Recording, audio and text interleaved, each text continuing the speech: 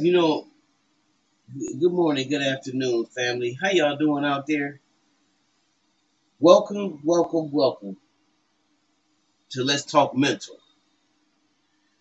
How many of y'all uh can remember you had an older person in your life or a grandmama that said to you, if I give you an inch, oh hell your mama. You take a mile. And once you were explained what that meant, if you were given an inch, you're gonna take a mile.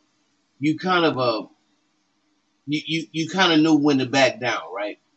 So because a lot of these kids and a lot of these young people today don't have no guidance, they do a lot of crazy stuff, or they go they doing too much, as my daughter said.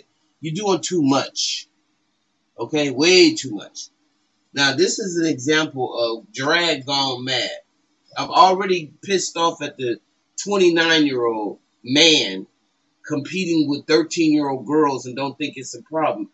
Um, but here we got another situation here where some drag queens uh took a little boy uh, or a little girl and they're strutting her. Let, let let me let this story um, speak for itself because see this is this has gone way too far. In my opinion, this is the kind of stuff that makes people get very angry and think that you're trying to force stuff on their kids or you're not having any respect for the kids. And so it's a little tick it's a TikTok video of a of a little girl actually um uh, uh being led across the across the stage with a drag queen with exposed breasts. Now I don't know in what world is that is that normal to y'all? Who did that to you, or are you a victim of uh, incest or rape?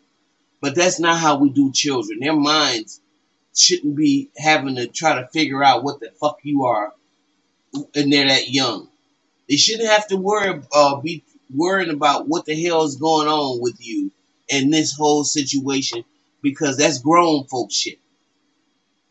And a lot of y'all are too stupid to know that. The difference between grown folks stuff and baby stuff. Okay? Or child's behavior. Y'all need some child development classes. Check this out. If it plays. Ridiculous. See, this is the kind of stuff that make people come for you. Well, it, it, it's just insane. I can't get it to play. But the, the, the bottom line is there's no drag queen with exposed breasts that should be leading the little kid across the stage and making them a part of the drag queen show. Okay?